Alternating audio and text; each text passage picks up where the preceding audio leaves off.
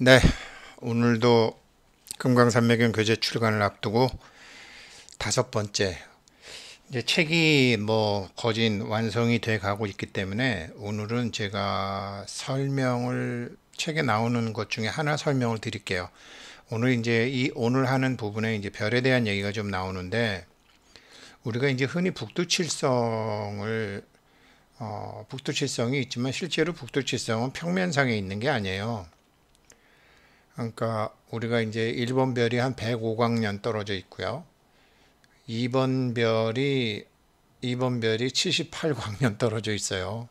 빛이 빛이 105년을 가야 된다고요. 엄청 멀죠.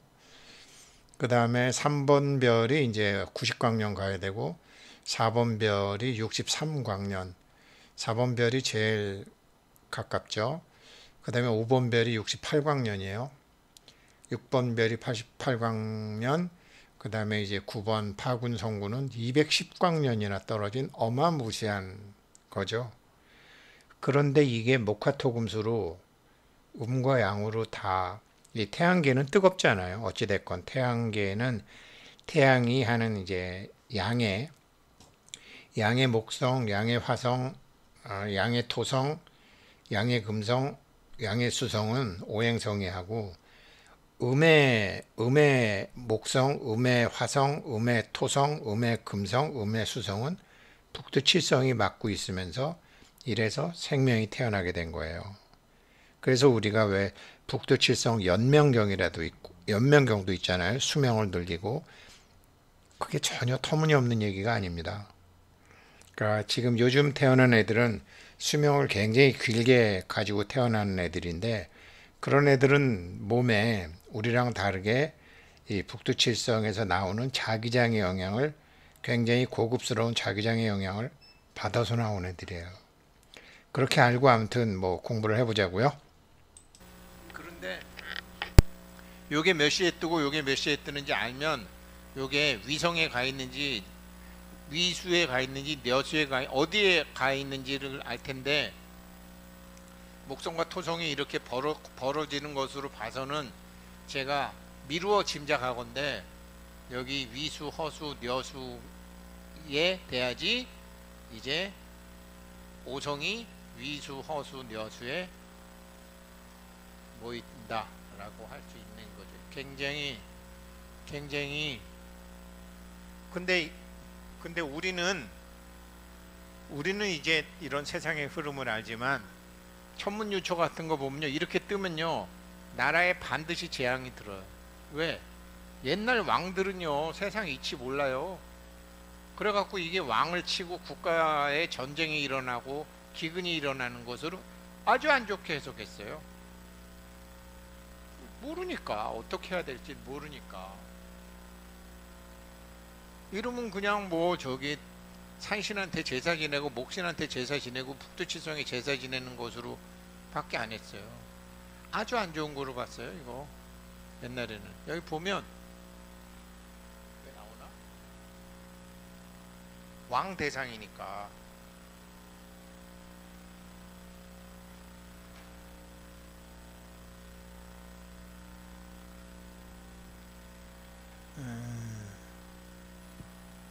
더 안 보이네.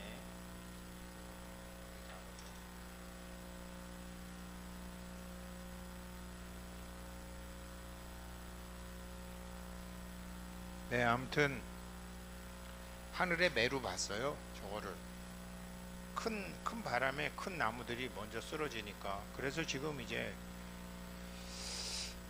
그런 상황에서 그런 상황에서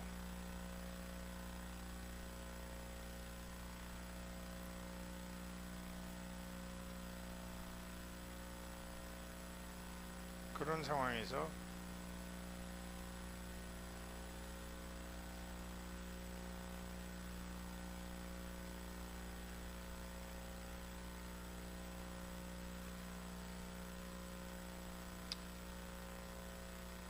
이게 이게 비트코인이에요. 어, 뭐 4단계로 본격적으로 딱 여기서부터 여기까지 떨어지는 거죠. 쫙. 그러나 이거는 찬스지 나쁜 게 아니다. 제가 말씀드렸잖아요. 81년도부터 그러니까 박정희 대통령 때 72년도, 73년도 이때부터 79년도까지 그 1차 오일 쇼크, 2차, 3차 오일 쇼크가 나서 그게 빡 떨어지는 것이 지금 얼마 안 남았어요. 얼마 안 남았어요. 기름값 떨어지는 거. 그래서 야 이거 뭐 비트코인으로 뭐 수백억 수천억 갖고 있는 사람들 고통스럽겠지만 새로이 준비하는 사람들은 기회가 왔다. 집값도 많은 사람들이 고통받겠지만 젊은 사람들 집 사는데 찬스 온다. 이건 뭐지? 이게 아까 셀시우스 그 코인 대부업체 바이낸스에서 거래 중지시킨 거 쫙 여기서부터 사실 떨어진 거죠. 작년 연말부터 우리처럼 스탠바인슈타인 공부했던 사람들은 작년 올 초부터 이런 코인은 쳐다보지도 않았어야 되는 거죠. 이건 뭐지? 이더리움. 이더리움 이것도 뭐 여기서 완전히 이거 사실 좀 뒤집어서 볼 줄 알아야 되는데 여기서 완전히 끝난 거죠. 완전히 이제 여기서 2단계에서 3단계 왔다가 4단계로 그냥 온 거죠. 급전직하한 거죠. 작년 작년 하 작년 3377 때 장진우를 불러다가 특강을 했고 작년 동안 한것 때 그 화폐의 역사에 대해서 공부하면서 코인과 주식에 대해서 같이 이제 공부를 하게 된 건데 그 두 개를 화폐의 역사가 화폐가 화폐가 생길 수밖에 없었던 수많은 화폐가 생겼는데 많은 화폐들이 실패하고 나중에 성공한 화폐들을 그 역사에 대해서 쭉 공부한 거 4개월 동안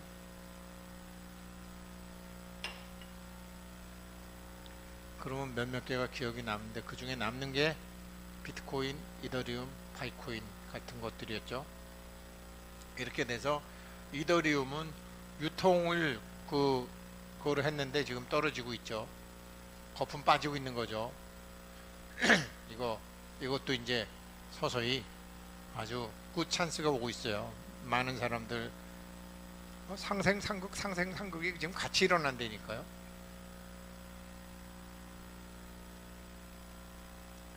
이거 파일 코인. 이거 파일 코인은 뭐, 뭐 하도 많이 떨어져서 바닥이 아직 안 나왔다 뿐이지. 근데 이 자식들은 너무 성의가 없는 것 같아. 기술 개발만 펀딩 기술 개발만 하나 봐. 이런 건 사실 큰 걱정은 없어요. 제조업에 기반을 두고 있는 건 내려서 기분은 나쁘지. 헬륨? 헬륨은 그래도 어 지금 주가 저기 뭐 코인 관리를 해요. 딱 받쳐주고 있어. 이러면 괜찮죠? 그래서 야 이게 앞으로 2, 3년 내에 사회의 주도 세력들이 굉장히 많이 바뀌겠구나. 본격적으로 많이 바뀌겠구나. 그런 생각을 하게 됐고 파이코인이 그런 면에서 정말 오롤하게 아주 잘 하고 있더라고요. 지금 지금 하셔도 하나도 늦을 거 없어요. 뭐 얘네 지금 뭐 목표가 천억 개인데 그러니까 쉽게 모을 수 있는 거는 단계는 지났지만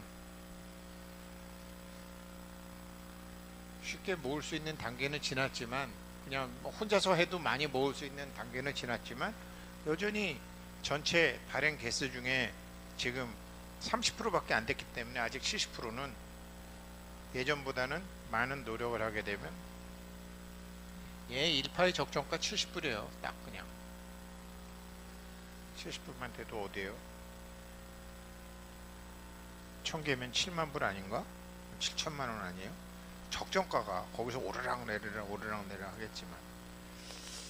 그래서 오늘 원래 그 영화 더 저지 갖고 말씀을 드리려고 했는데 한번 그거 갖고 말씀드리는 게 아니라 이게 이제 우리가 공부했던 내용이고 그래서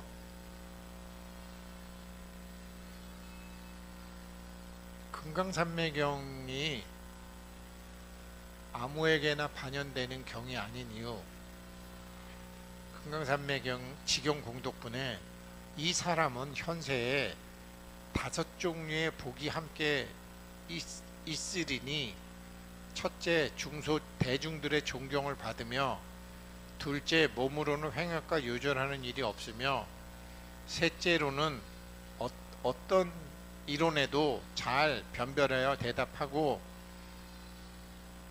넷째는 즐겁게 중생을 제도하며 다섯째 성스러운 길에 들어갈 수 있느니라.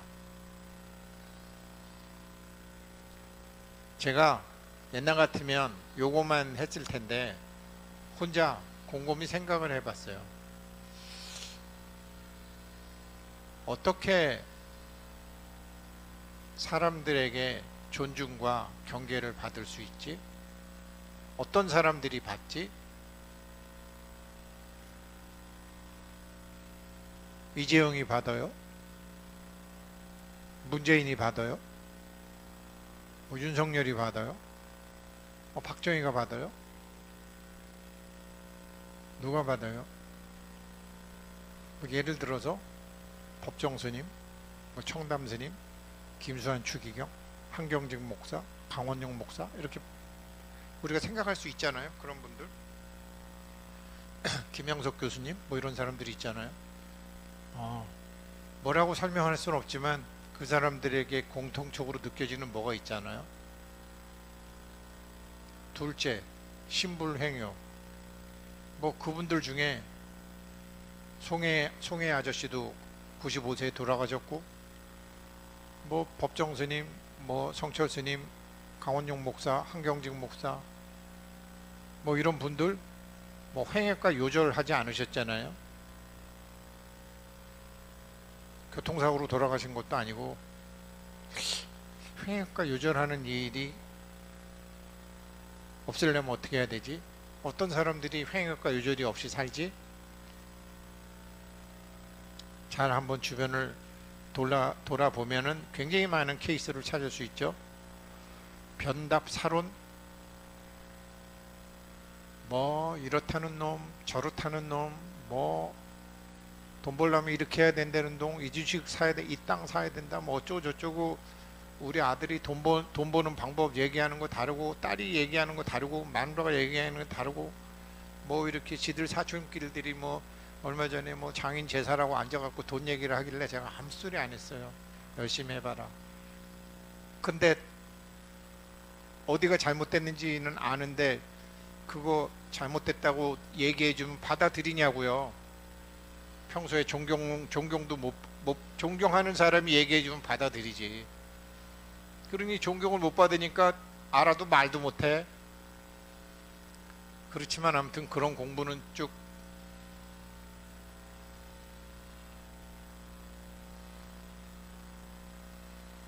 어제 어제 이런 일이 있었는데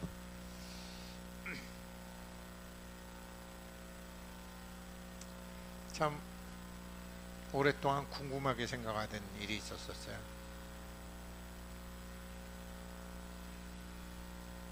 서울에 그렇게 아파트들이 많고 또 우리 어렸을 때도 다 부자들은 집 장사나 이제 그 왜 집장사들은 그렇게 다 나중에 망하지? 심지어 현대건설도 망했잖아요. 아파트 업자 중에 안 망한 사람 있어요? 망하지 않았, 않았어도 몸이 깜빵해 가거나 뭐 어떻게 부영처럼 그렇게 되는 거. 아무튼 왜 집장사 하는 사람들은 삼익주택, 남강토건, 공영토건, 삼호주택, 지능기업, 건영, 청구, 우방, 현대 뭐 다 요즘은 잘 안 망하는데 옛날에 그냥 땅 짓고 헤엄치기 할 때 돈 버는 사람들 다 망했잖아요. 그 많은 돈을 벌어가지고 그때.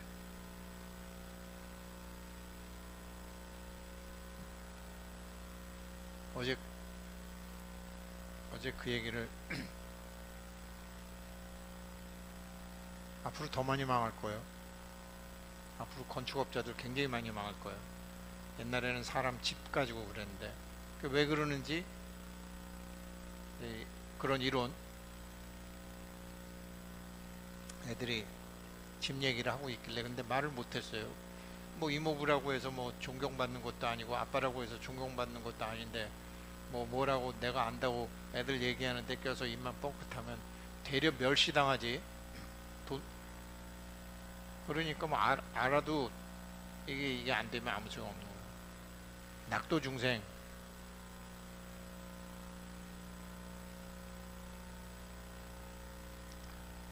그 다음에 능이 성스러운 게 이거 이거 뭐냐면요. 이미 벨라루스는 지금 뭐 소련 이거 할 수 있는 방법 딱 하나예요. 공의 나로 사는 방법밖에 없어요. 지금 설명이 뭐 끄트머리 더 많이 흐려졌는데요. 아무튼 교재는 제가 정말로 최대한 상세히 설명을 드렸고 아, 금강산매경에는 이제 이입과 행입이라는 두 가지 방법이 있는데 일단 이치로 들어가시기만 해도 이번 당장 이번 백중 때 뭐 조상님 천도해 드리는 거는 잘 하실 수 있어요 혼자서도 아무튼 서둘러서 책이 7월 중으로 반드시 나오도록 할 거고 지금 이, 어, 이 워밍업 하는 건 이제 한 해만 더 한 번만 더 하면 끝입니다. 그 다음에는 금강경 독송한 거를 제가 올려드리겠습니다. 고맙습니다